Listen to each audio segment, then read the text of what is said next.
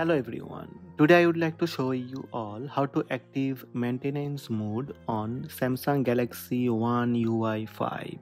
Maintenance mode protects your privacy while someone else is using your phone, such as when you are sending it for repairs.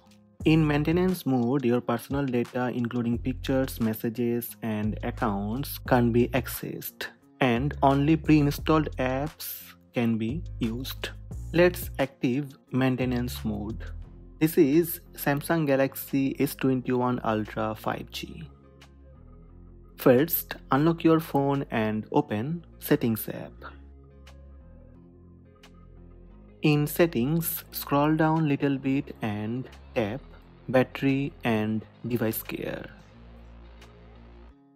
Again, scroll down and tap Maintenance Mode. You can backup your data if needed. Backup your data is recommended just in case data is lost while your phone is being repaired. Tap turn on. Then tap restart. Creating log. This manually takes around 2 minutes. After the log is created, your phone will restart in maintenance mode and you can safely hand over your phone for maintenance.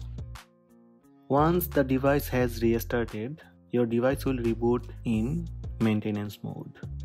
This is maintenance mode. No one can use your photos, messages or account data.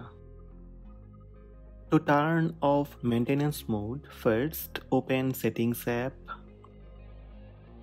Scroll down and tap battery and device care. Again scroll down and tap maintenance mode tap exit and restart. Unlock your phone using your passcode or pattern.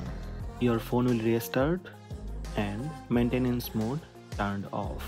So these are the steps to active maintenance mode on Samsung Galaxy One UI 5. Hope this video help you. Please subscribe my channel by tap subscribe button also tap the bell icon to receive notifications about all new videos.